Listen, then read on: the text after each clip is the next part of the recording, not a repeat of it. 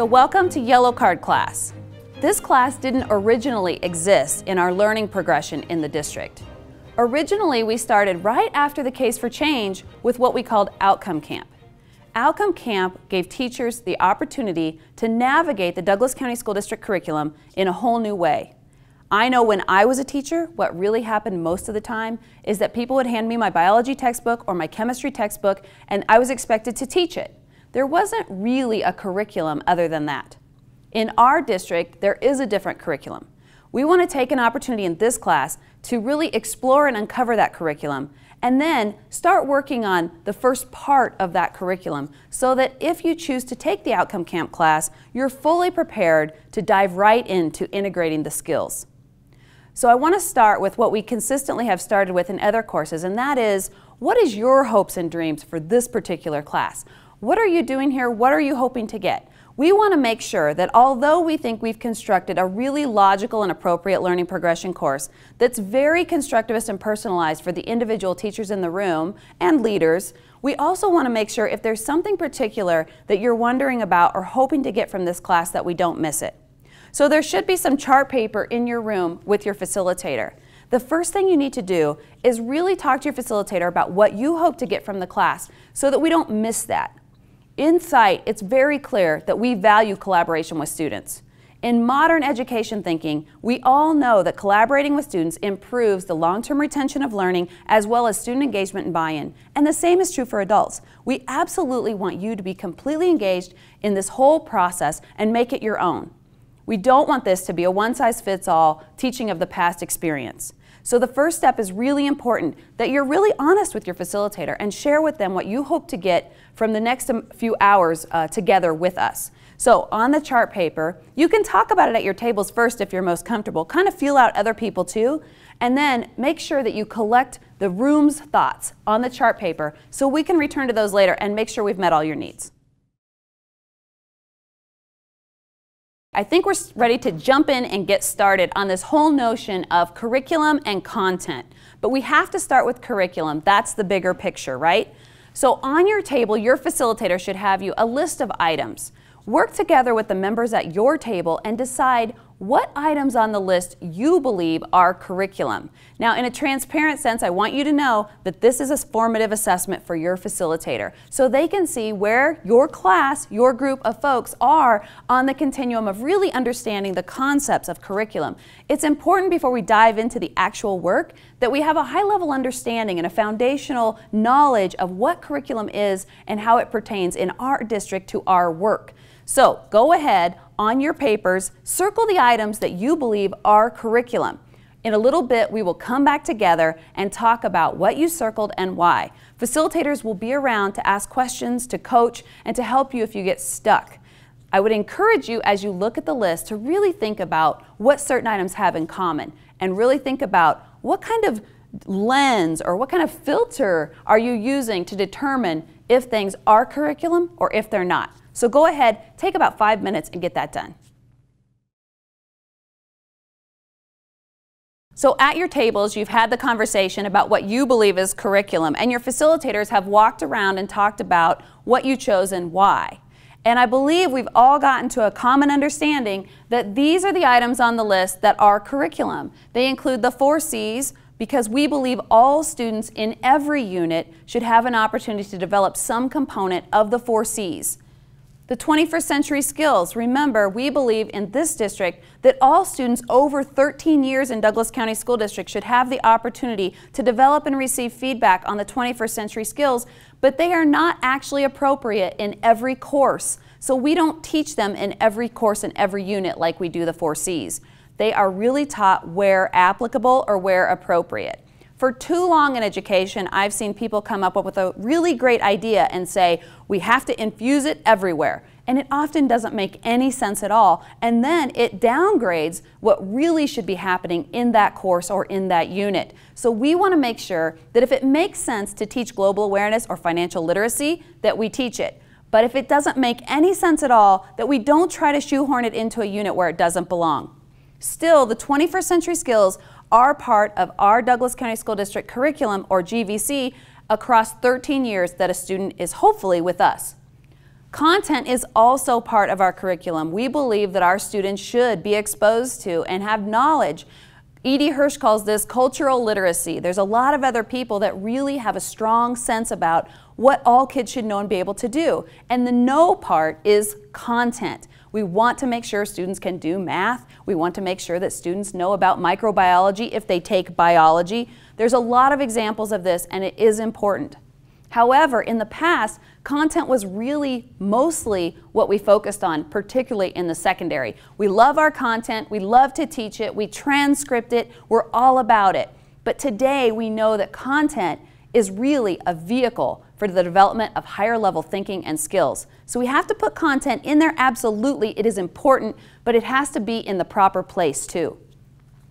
State standards, this is one that a lot of people struggle with. Are they part of the curriculum or aren't they? Well, I could argue it both ways. The bottom line is in Colorado, we're a local control state where the local Board of Education sets the curriculum based on the recommendations of instructional staff in the district. We've developed our own curriculum. So where does that leave the state standards? Well, it is a basic expectation that the state standards are included in our district curriculum, and ours are. So when we built our curriculum, we actually analyzed the state standards that include the Common Core because we are for now, a Common Core state, and we included those in our world-class outcomes. We'll learn a lot more about this in Outcome Camp, but it's important to understand that we do have those in there. So it's perfectly okay to circle them, although I could make an argument that they're really not exactly explicitly part of the curriculum. For now, we're going to go with yes. World-class outcomes. Those are the outcomes that together our teachers, hundreds of teachers, came together and built and they built them based on the state standards. Remember that they brought them together and they did this thing called blooming them and sifting them. Well, what we did was we really analyzed the high cognitive complexity or not of the state standards and where they were too low, we raised them up. The other thing that we really did and spent a lot of time on was integration. We know that the brain learns best when learning is integrated, when we teach the concepts together that go together. So it makes no sense to teach one concept on Monday and a different concept on Thursday and act like they've never met when the reality is they're very much related. If you look at Inspired Innovation, you can actually click on a world-class outcome and all the state standards will drop out from underneath it. You can see all the standards that one outcome actually incorporates. It's really cool how Douglas County School District teachers raised the rigor of the standards and integrated them to make the world-class outcomes. These other items on the list that you didn't circle are not curriculum. That doesn't mean they're not part of education, but it's important for us to all understand what is curriculum and what's not curriculum. When you talked at your tables and with your facilitators, you most of you came up with this whole notion that curriculum equal the goals for the students. So as we filter through our list, we say, are worksheets the goals for our students? Are those the targets?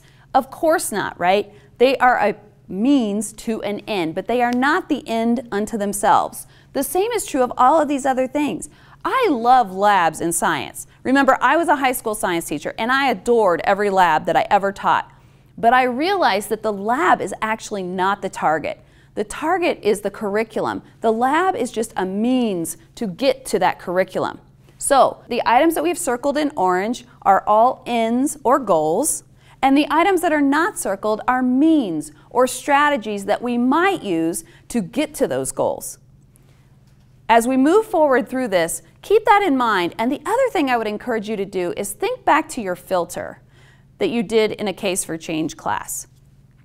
Look at the items that we have circled in orange and decide for yourselves and with those at your table if you think that those would go through your filter. Do you think that the four C's align with what we commit to for all kids in the future? Do you think that all students need an opportunity to learn and develop 21st century skills? How about content and world-class outcomes? Do they go through your filter or not? I think this is an important question you have to ask. It's definitely a question we asked as we were working to develop the GVC as a whole. The next part of this is we're going to move into a really specific look at content. Remember that the other pieces will come in the World Class Outcome Camp. And we used to do this all together.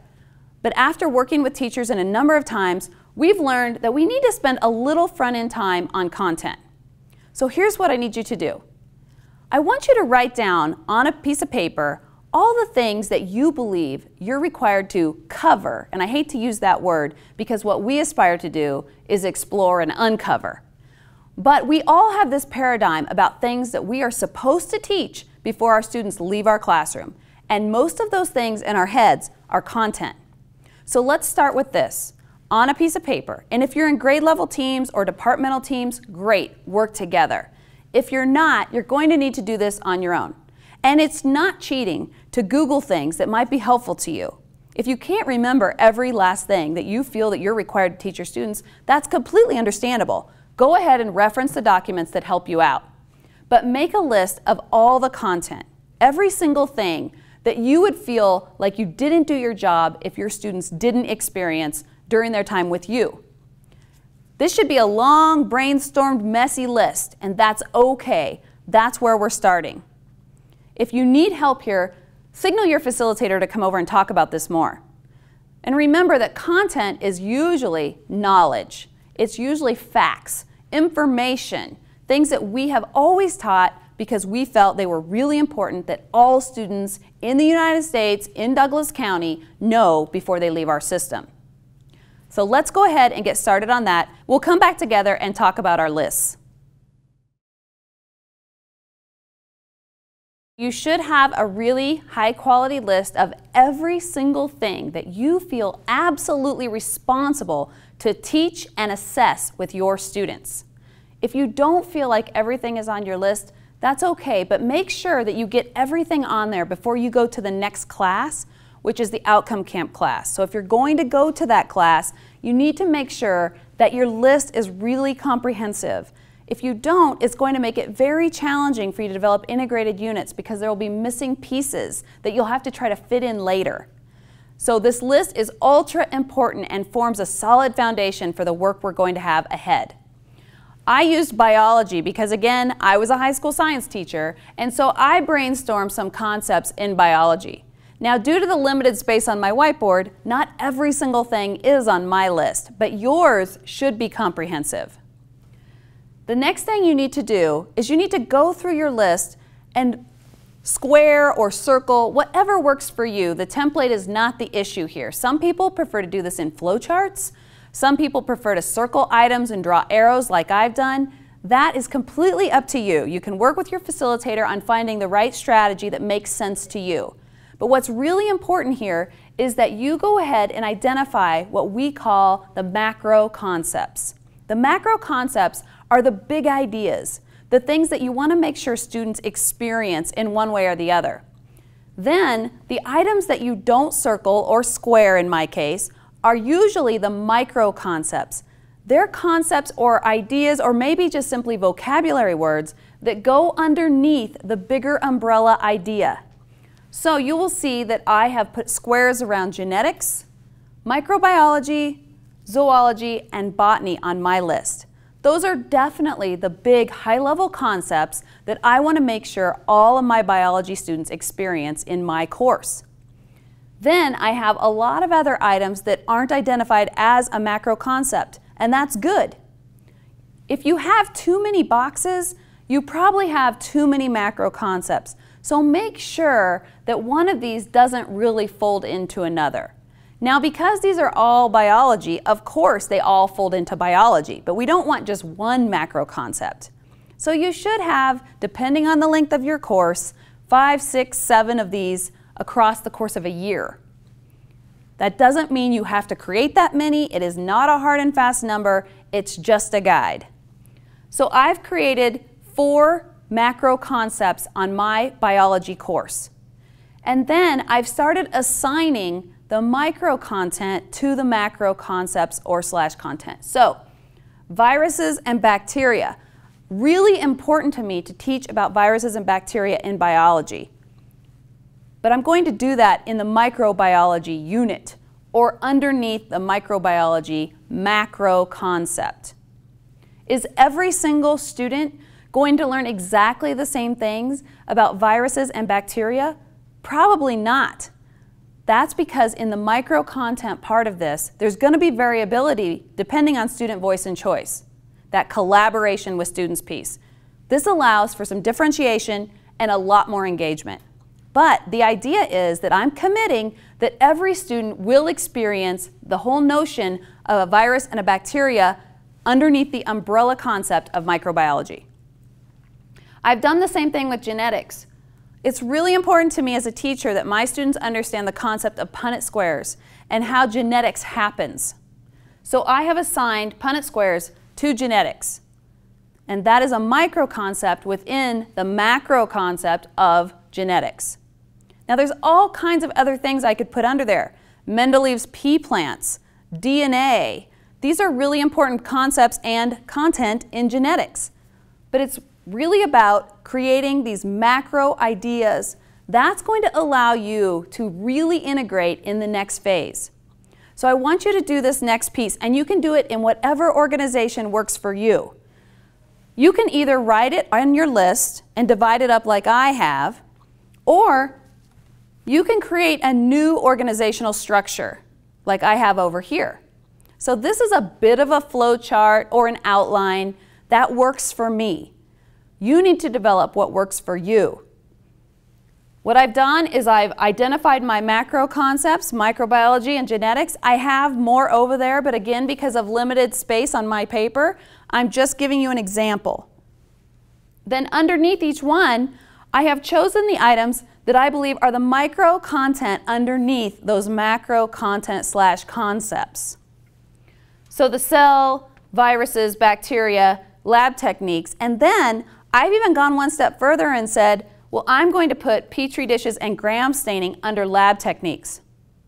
You can scaffold this however you want, however it works for you. The important part is that you create some sort of a logical organization of the content that you feel is your responsibility to teach your students over the course of the year or semester if it's a semester long course. We'll be using this a lot going forward. The other thing you should do is you should look back at your filter and look at the content you've selected and make sure that your content is getting your students to that 21st century education or that modern educational experience that you have committed that they all should have. If there's something on your list that really belongs to the Henry Ford era and not the modern era, you might want to reconsider it. In Douglas County, teachers have a lot of flexibility in this area. While we definitely want to make sure, if we're transcripting biology, that students have experienced microbiology, genetics, zoology, and botany, there's a lot of flexibility within those areas for teachers to allow students to have voice and choice and for teachers to personalize the learning for the students they have in front of them. That's not always the case. In some districts, they have very strict scope and sequence and an accompanying pacing guide that says you will teach viruses and it will be on next Thursday. We don't do that here because we believe that teaching is both an art and a science and that what you want to do is put empowerment with five-star teachers to create amazing opportunities for the kids who are in front of them. Not some mythical group of students that are the average, no, we want you to really use your professional expertise here. This is why teaching is a true profession. Anybody can follow the teacher's guide of a basal or a textbook and just pass out the worksheets as if it didn't matter who the students in front of them were. Here, we don't see it that way. We believe five-star teachers will identify the students in front of them, their unique needs, their strengths, their challenges, their interests, Combine that with the outcomes they want for all students in their class and create a personalized learning experience for each one. Why do we want that? Because we believe that that will actually have long-term retention of the knowledge and skills the students develop. Whereas if we just march through a book, it's unlikely the students will retain much of that for a long time. There's lots of remediation data that show that students don't retain information for a long time when all we do is memorize, regurgitate, and then there's the third part, dump. So that's why this is so important, that you really figure out what is my course about? What do I have to teach my students so that I can feel that I have done the right thing for them? And then how can I lay that out in a logical way that sort of creates what we call big rocks? the things that are not negotiable. Every student I have will experience microbiology. And then little rocks, things that students will experience differently depending on their unique needs and how I personalize the learning for them. We're going to help you a lot more with this in the Outcome Camp class. So I don't want you to worry about it too much at this point. I'm just trying to paint a picture and foreshadow where we're going together so that you have an understanding of why we're doing this. Brainstorming all the parts of the content that you teach that you feel absolutely responsible for teaching, whether it's addition, subtraction, microbiology, multiplication, long division, whatever it is, put it on the list. Then organize it in a way that makes sense. The things you must teach and the items that support that. The macro concept, the micro concept, the big rocks, the little rocks whatever works for you. We're going to be taking this forward into the next class, and it's going to be really important that you have this done correctly. And here's how we would encourage you to end this part of the work. We have yellow cards that we have on your tables. Your facilitators will be around to help you with this if you have any questions. As you move into the next class, there's a tactile activity that really helps people start to see at a kinesthetic level, a visual spatial level, how their different parts of the curriculum can come together as one and create a personalized unit for a student. To do that, it's pretty important that you take the yellow cards that we have on your table and write macro concepts on the front so that when you're thinking about, hmm, I have these 21st century skills, I have these four C's, I have these world-class outcomes, what content would it make sense for me to use as the vehicle for developing those? Having the card with the content all organized will give you a huge head start in the next course. So on the front of the yellow card, the macro content, the concept, microbiology. On the back of the card, because it's really important to some of us to have everything accounted for, all of your micro content goes on the back. So I would have microbiology on the front, and on the back I would have things like cells, viruses, bacteria, lab techniques, petri dishes and gram staining, and many, many more things, because that is not even close to everything I would want to put on the back for microbiology. So here's what you need to do.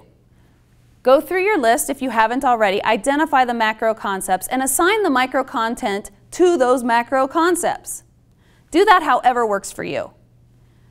Create a flow chart, an outline, or go straight to the yellow cards. Put the macro on the front and the micro on the back.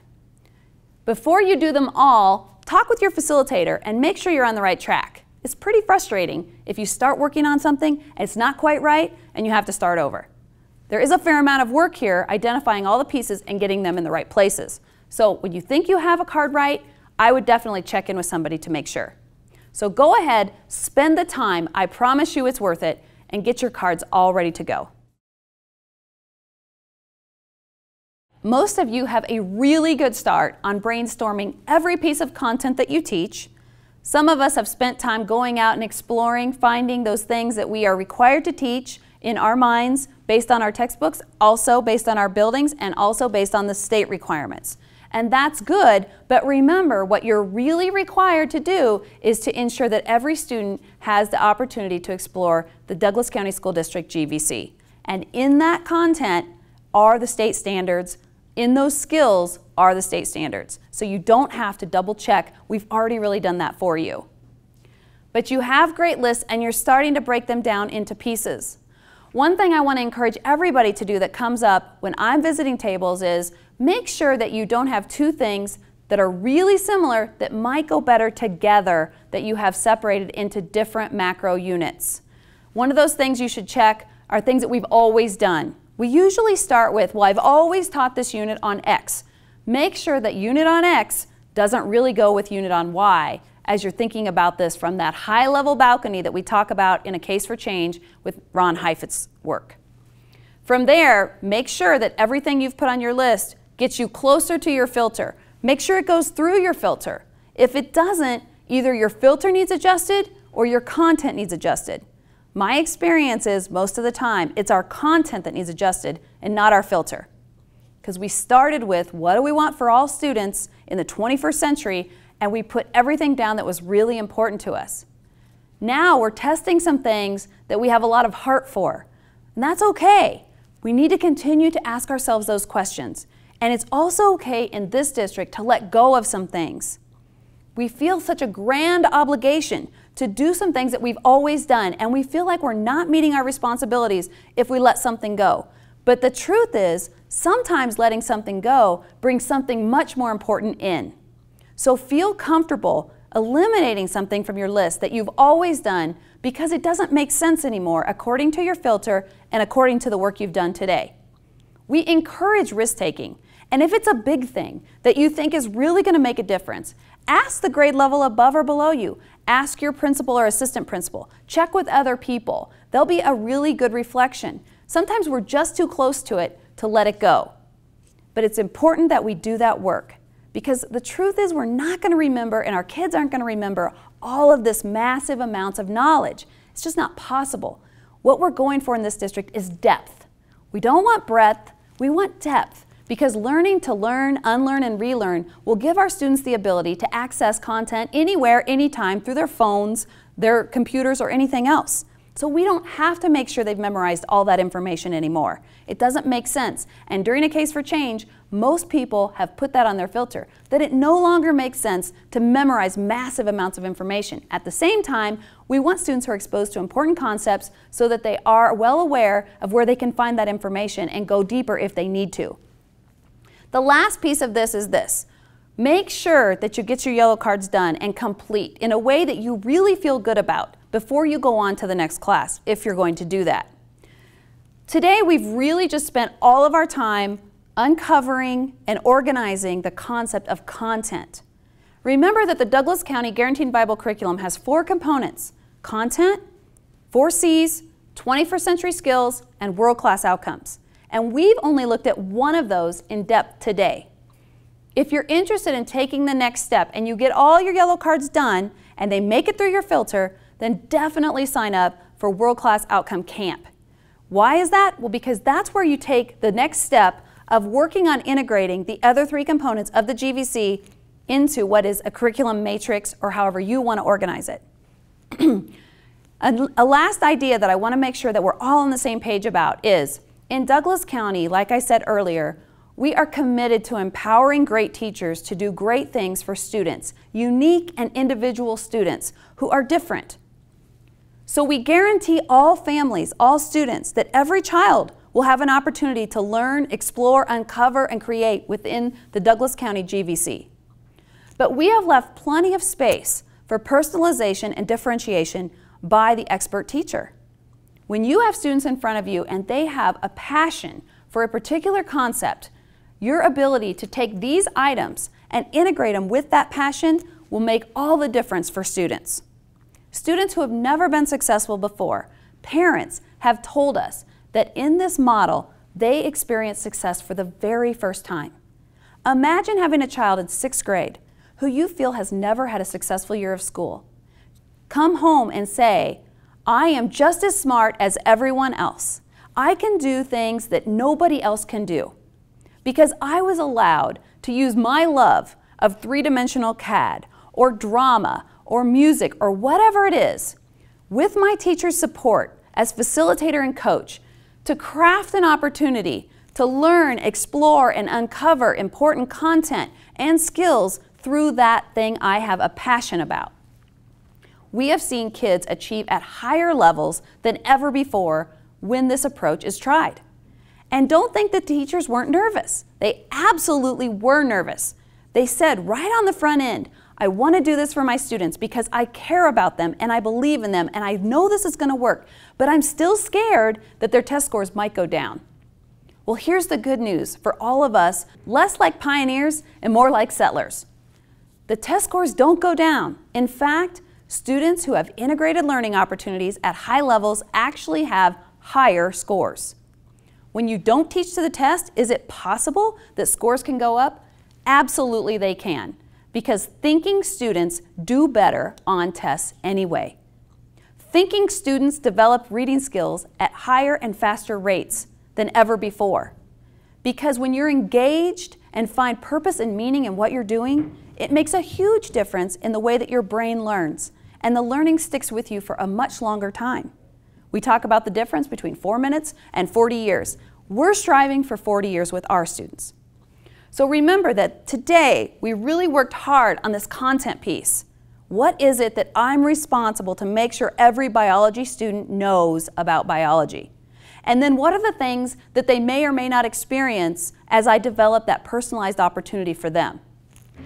Then next piece is bringing in world-class outcomes, 4Cs, and 21st century skills, rounding out the GVC in my unit so I can say to my parents, every one of your children in my course or class will absolutely have the opportunity to uncover, explore, create, and evaluate and receive feedback on all of the GVC.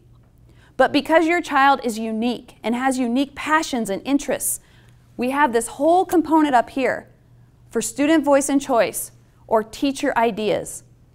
The personalization, the differentiation, and the empowerment of professionals is a cornerstone of the way that we've designed our curriculum in this school district. So please feel like you are encouraged to take risks and do unique things for unique kids because we know that the outcomes will be better than ever before. So I want to dig into this idea of personalization and differentiation just a little bit more. So as you know, in Douglas County, schools have the opportunity, if they want to, it is not a requirement, to go down a path of sort of choosing a means by which their students will learn. So an example is International Baccalaureate. We have several schools that are working on that. Artful Learning, uh, right here in Castle Rock at Meadowview Elementary. They are an artful learning school. We also have expeditionary learning in multiple schools in the district. Um, those are just a few examples of schools who have worked together with their communities and decided that they want to offer students a unique way of learning that is consistent throughout the building. That, again, that's not required, but it happens. Well, when you go down that path, it obviously is going to influence the top part of your test tube. So again, it doesn't matter if my child's at an artful learning school, he or she is going to get all of these outcomes from the GVC because that's guaranteed for every child in the district. In addition to that, my child, because I have chosen Artful Learning, is going to get some masterworks up in the top part of the test tube that aren't going to exist in other schools. That's part of the choice that I've made. In IB, it's the same thing. The learner profile, all of the skills that they want them to have, uh, if they require a language, some of those pieces, that's going to be up here in the personalization and differentiation part of the test tube. The other part of this is what the teacher chooses to add or what the students choose to add. So this can vary from school to school to classroom to classroom, even student to student within a classroom, and that is encouraged. The last piece today is for you to revisit your list on the wall with your facilitator. Remember at the beginning we asked for your hopes, your dreams, your ideas about the course, what you really wanted to get? so that we could collaborate with you on what we're doing here today so your facilitators would be better equipped as they walk around the room and coach you to meet your needs? We want to revisit that list and make sure that there's nothing that we haven't attended to. Some of the items may be addressed in the next class, and we'll be sure and tell you that if that's the case. If there are certain things that have not been done that are unique to your needs, we'll make sure that we get that done also. So revisit with your facilitator your hopes for your next course and then we'll have one closing piece. We have finished our course for today, and I know that for some of you that was a lot of brain work, but it's good work. This is our profession. We own it. We are creating the future of American education every day in our classrooms. We are showing people what is possible when you get outside of some of the strategies we've had during the last 10 years of No Child Left Untested. We've really moved beyond the thinking that we just want to cover information as fast as we can and teach to the test. Instead, we want to create this differentiated test tube, if you will, where we mix items together that are appropriate and merge with students' passion, play, and purpose, like Tony Wagner says. You've really worked hard on the content today. Congratulations on that. If you have more work to do, please feel free to do so. From here, the next course in the learning progression is World Class Outcome Camp. That's where you take the rest of the items plus your content and build a matrix or however you want to organize it. The template is not the goal, but actually the work to organize it in a way that integrates it for kids is actually what we want to help you do. So go ahead if you're ready and sign up for that next class. After that class, you'll have the opportunity to take one unit of outcomes, all the things that you commit to teach and assess for your students, and build a summative assessment for it. That's a really fun opportunity, particularly for people who have a yellow preference in emergenetics. So that's where we're headed. The next class, create the matrix that shows how you're going to organize all your curriculum into units, and then take one of those units and build a summative that assesses and gives students feedback on everything that you've committed to teach in your matrix. World Class Outcome Camp is next, then the summative assessment class. And from there, we'll go on to formative and interim assessments, and then our favorite in education, stage three, how you actually facilitate the learning opportunities for students in the 21st century. All about Bloom's, the brain, constructivist opportunities, really offering you the opportunity to learn to teach a lot like we have been teaching in these classes. I hope you could see as we went through this, we gave you the opportunity to explore, uncover, and create to evaluate the quality of the content that you've taught against your filter, and then to decide what you're keeping and what you're letting go. To build your own content matrix or cards like we've done today so that you know exactly what you're going to teach every year to all students and what things are more negotiable depending on the needs of students that you have in front of you. Thanks so much for your time today. I hope you've enjoyed this and I think it will really set you up for success as you move on to the next class.